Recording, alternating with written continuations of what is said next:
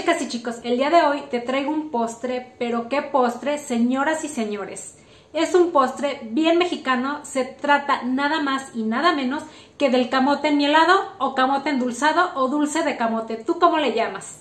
Y mientras me dices cómo le llamas a este delicioso postre, si estás fuera de este canal, ¿qué haces por allá?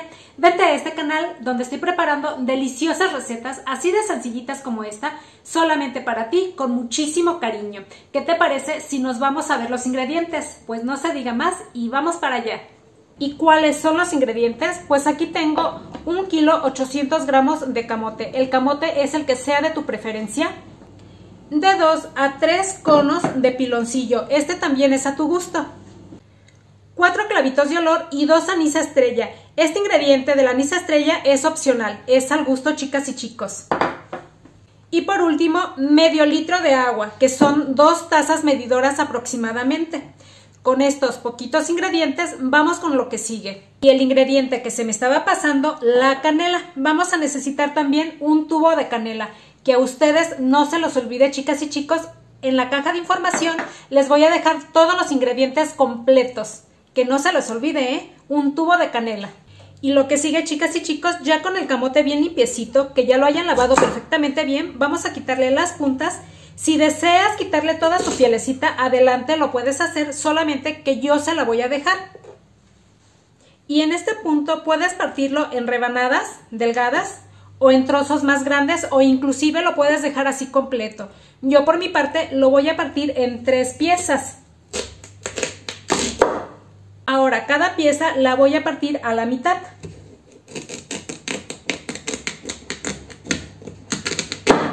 Listo. La primera. La segunda. Y la tercera. Ya que termine con este paso, chicas y chicas, regreso con ustedes para irnos al siguiente paso.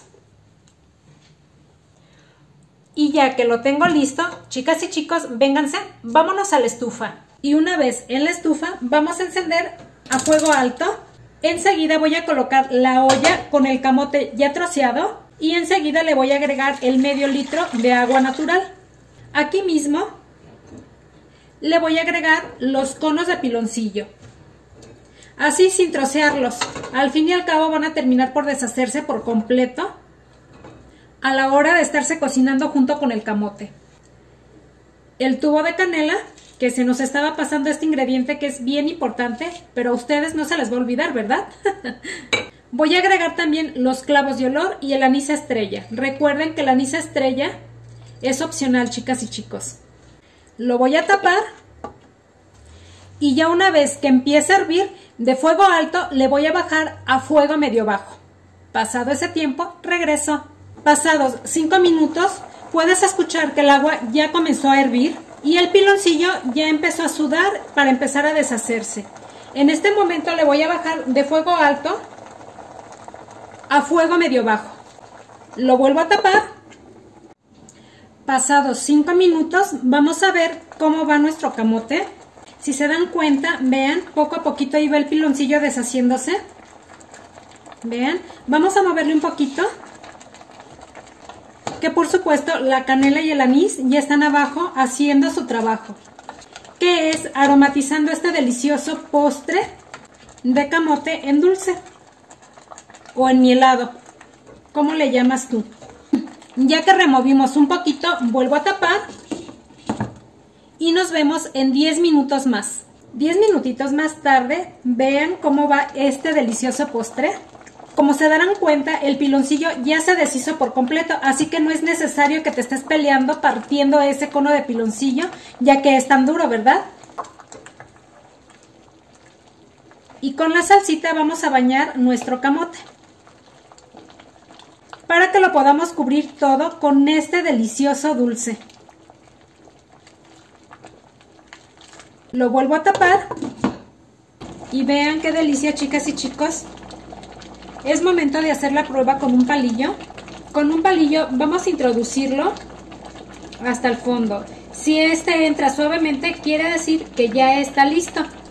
Si tú deseas que tu almíbar te quede más espeso, lo único que tienes que hacer es dejar reducir ese almíbar hasta que quede al espesor de tu agrado, sin que el camote se llegue a batir. Para mí este almíbar ya está perfecto, así que le voy a apagar porque hay que recordar que una vez que enfría, el almíbar tiende a espesar. Así que para mí ya está perfecto. ¿Qué sigue, chicas y chicos? Pues vamos a emplatarlo. Vamos a la mesa de trabajo para presentarlo. Y vean qué delicia, chicas y chicos. Riquísimo, delicioso. Pues vamos a emplatarlo. Y empiezo a tomar las porciones para poder acomodarlo.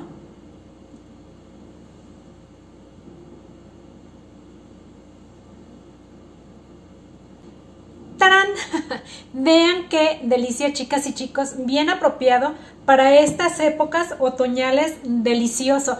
No te puedes perder esta receta, ¿eh? Queda riquísimo y con ese toque de anís, mucho mejor. Ahora que sigue, vamos a despedirnos. Vamos para allá. Y ¡tarán! Vean qué delicia, chicas y chicos, se les antoja. Está para devorárselo completito, ¿verdad? Pues es lo que voy a hacer para todos ustedes haciendo la prueba que pues me tengo que sacrificar nuevamente, ¿verdad? pues me voy a sacrificar y con cucharita en mano vamos a probarlo. Mm, de verdad, vean, queda riquísimo. Esa miel deliciosa va para adentro porque no aguanto más y me lo voy a devorar. A su salud. Mm, no, queda riquísimo, delicioso. Y pues no aguanto más y me voy a dar otra probadita porque de verdad queda riquísimo. Va para adentro nuevamente. Mm. Chicas y chicos, no saben de lo que se van a perder si no preparan esta delicia de postre y más ahora que es temporada.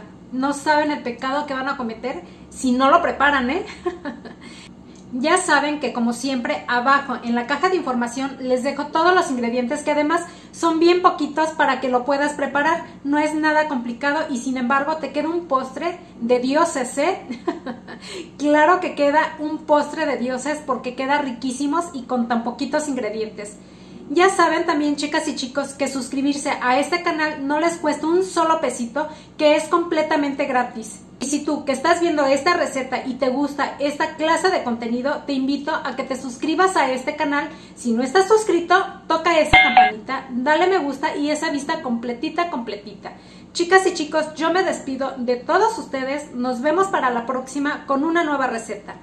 Bye.